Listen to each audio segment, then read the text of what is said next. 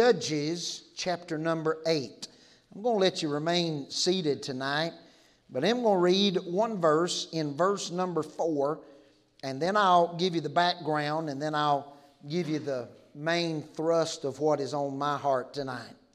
If you're in Judges 8, let me hear you say, Amen. And Gideon came to Jordan and passed over. He and the 300 men that were with him. And this is the phrase that I want God to etch on our heart tonight. They were faint, yet pursuing them. Father, take this message tonight.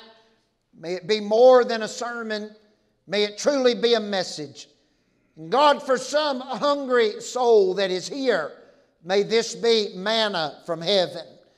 For some weary believer that came in tonight needing to hear from heaven, may it be water from a far country.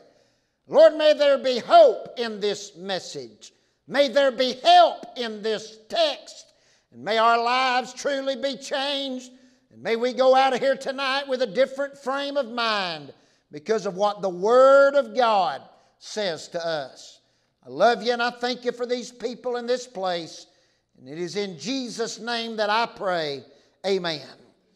In Judges chapter 8, the Bible tells us that Gideon has assembled 300 soldiers and they have begun to pursue the enemy. They are chasing them, they are after them, and as they are journeying, they become weary. Now, if we were to read on in this text, we would find that Gideon went several places looking for help, and help was denied him. Is there anybody that ever thought somebody would help you, but when push came to shove, they let you down?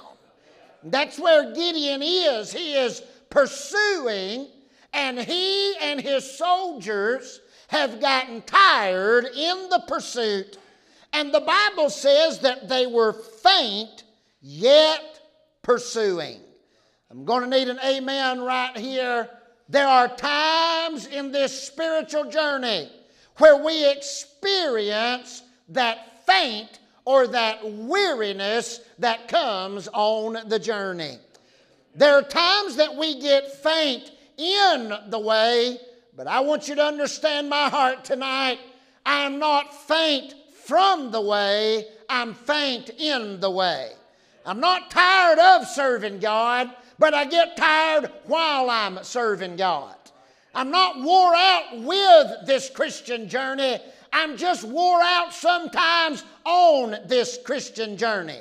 If you're looking for a preacher that's going to pout and poor mouth and tell you how hard it is to serve Him, you've come to the wrong place. My worst day as a believer is still better than my best day when I was lost and dying and going to hell.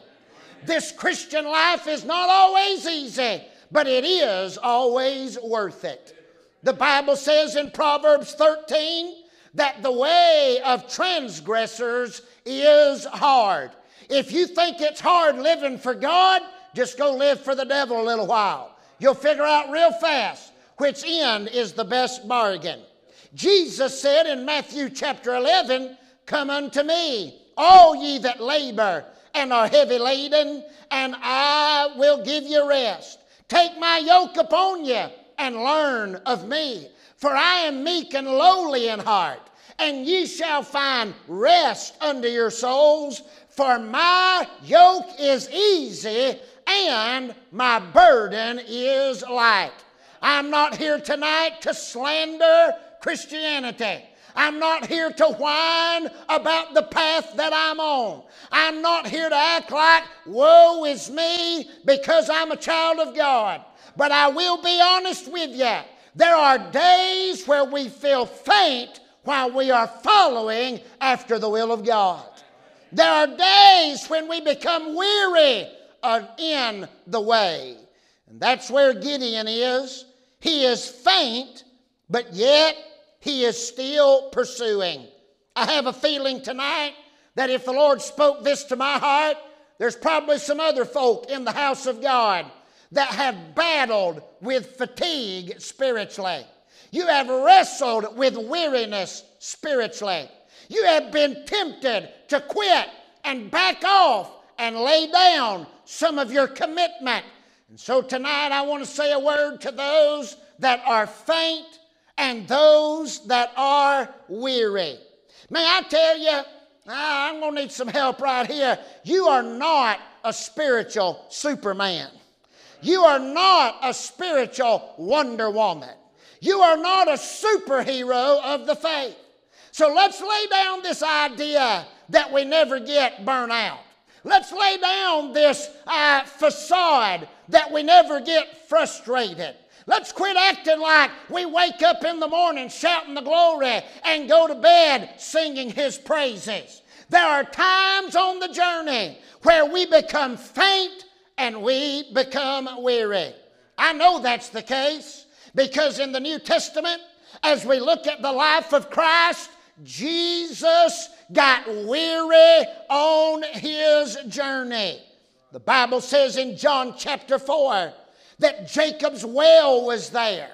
And Jesus, therefore, being wearied with his journey, sat thus on the well. Ladies and gentlemen, Jesus Himself, the incarnate Son of God, the very one who spoke the world into being when he walked on this dusty planet and he plowed behind the gospel plow and he submitted to the will of the Father, Jesus himself got weary with his journey.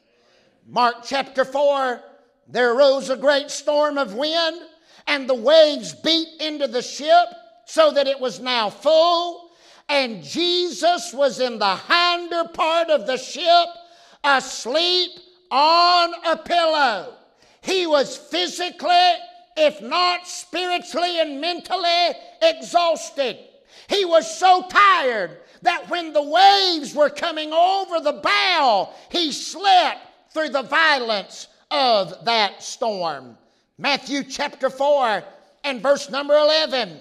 Jesus had been tempted of the devil 40 days and 40 nights. And after all, or he had been fasted 40 days and 40 nights. And after that long fast, then Satan came and tempted him in the wilderness. And after Jesus was tempted in the wilderness, the Bible says in Matthew 4 that the devil leaveth him, and behold, angels came and ministered unto him. Can you imagine the idea that Jesus was so depleted spiritually, that he was so exhausted emotionally, that he was so weary in the way, that he needed angels to come and breathe life back into him. Now I want to say this Jesus got weary. And now I want to say this you ain't Jesus. So if Jesus got weary, chances are you and I are going to get exhausted in our walk with God. I need some honest people to give me an amen if I plowed down your road tonight. We get weary. We experience fatigue. And it's not that we want to quit. You know, the devil never tempts me with quitting. I feel like Simon Peter.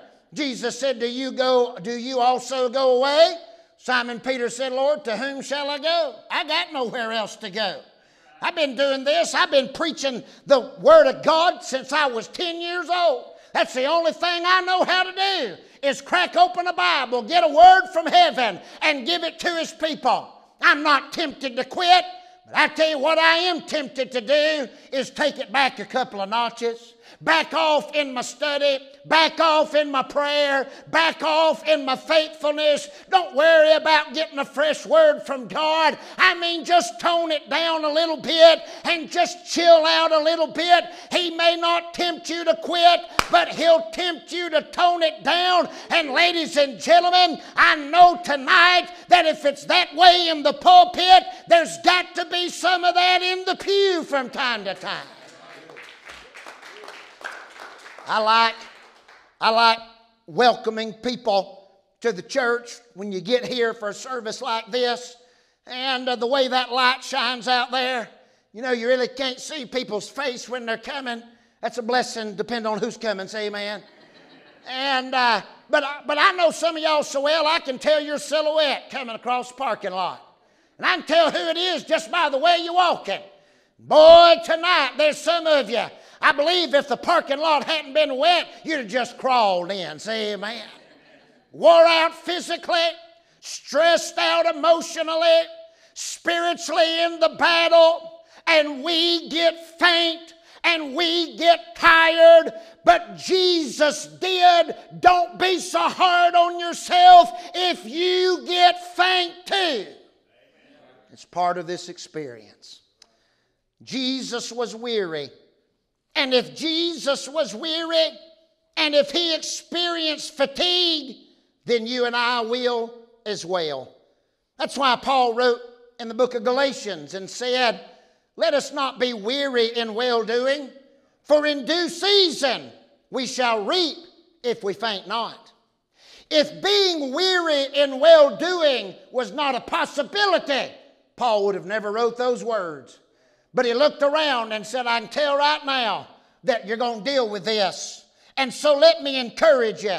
Don't give up in what you're doing. He said in Second Thessalonians chapter 3, But ye, brethren, be not weary in well doing. We all deal with spiritual fatigue. We all deal with weariness. We all deal with exhaustion. And, ladies and gentlemen, I want you to just first of all settle it in your heart that you are not a failure because you experience it. You are not a bad Christian because you've dealt with it. God's not through with you because you're spiritually out of breath. We have all been through those seasons and we will go through those seasons again. It is a pattern of the Christian life. If you believe what I'm saying tonight, help me give the Lord a good hand clap of praise and let the preacher know and heaven know that you understand. We all deal with that. Gideon dealt with it. He said, We are faint. But there is a word that he uses after his confession that will absolutely change our lives. He said that they were faint. Here it is yet pursuing. They were tired, but they were still chasing the enemy. They were wore out, but they were still on the go. They were exhausted, but they had not given up the fight. They were depleted, but they had not abandoned the mission. All of us are going to get faint are going to be weary. It is not the problem with being weary, but it is what you do while you are weary. Being faint, everybody say that next word out loud, yet. Say it again, yet pursuing. That word yet is what I want you to bury in your spirit when you're exhausted when you don't feel like going to church, when you don't feel like being faithful, when you don't feel like denying temptation, when you don't feel like getting in the Word of God, when you don't want to live for Jesus anymore, when you are so wore out that you want to back up and maybe even lay it down, I want you to find that word yet. I want you to get a hold of it. And I want you to hold on to it until the day we cross over out of this world into the next. The word yet means this. Listen to this. Yet, it is defined as three ways beside, still, and this is a lengthy one, denoting continuance and extension of time. Yet means beside, or it means still, in spite of to denote a continuance and an extension of time. Job used that word yet when he said this Though he slay me, yet will I trust in him. In other words, even if God took my life, still I'll trust in him. Besides that, I'll trust in him. Even if he took my life, I would continue to trust in him. David said in Psalm 40, But I am poor and needy, yet the Lord thinketh upon me. Paul said it to Timothy If we believe not, yet he abideth faithful. This is what I want us to do tonight. I want us to say, Lord, I may be faint, yet I'm still going to pursue. I may be tired, but yet I'm still going to pursue. I may be weak, I may be weary, I may be exhausted and depleted, but yet, in spite of that, still and onward I press on in spite of my weariness. There have been times in my Christian life, and I believe that they were some of the defining moments of my walk with God. It was not when everything was going well. It was not when everybody was clapping and applauding and cheering. It was not when the church house was full and the offerings were good. It was not when the sermons came easy. It was not when blessings fell every direction I turned, but it was those moments where I was bleeding in my boots my heart had exploded. My spirit was broken. My mind was doing a thousand mile an hour. But instead of getting out of the race, I said, Lord, besides how I feel, I'll serve you anyway. I'll still go on and serve you. I'm not going to stop. I'm going to continue to serve you. That's where some of you are tonight. You're in a place of fatigue. I hope that you say, Yet I will go on for the glory of God. I may be tired, yet I'll still live for Him. COVID may have come to my home, took us to the intensive care unit, left us fearing for life and worried about repercussions later. Yet I will still serve God. Somebody help me right here. There's times when my money starts acting funny, yet I'll still go on and serve God. Cancer may have drained you of your resources, of your health, and even of your faith. But I wish somebody who's been through cancer and back would just say, Yet I will still trust in Him. Church attendance may be low, and I done proved this for the last 19 years. If there's three of y'all here or 300, I'm still going to turn red and spit and holler and scream. I ain't doing this for you. I ain't going to quit if you go away, whether the crowd is here or whether the crowd is gone. Yet will I pursue after God.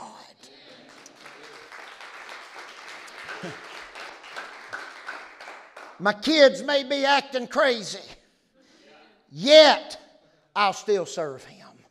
You do know that when teenagers turn 13, that aliens come down that night, break in their room, suck their brains out of their head, and don't give them back till they're in their mid 30s. Y'all did know that, right? You knew that. It's a fact, it's documented, it's true. But when my kids go crazy, yet I'll still follow Him. I may deal with depression, and I may have to find strength to even get out of the bed every day. But yet, still, I will follow God. My old car may be wore out. I may have to park it on a hill just to get it going, but I'm still going to serve God. My soul may be weary. My mind may run me crazy. My sleep may leave me restless and all the cares of this world may seem more than I can bear. Worry may plague me, and fear may overwhelm me. But I've made up my mind that I'm not going to quit. I'm going to be a yet believer. I'm faint, yet I am pursuing.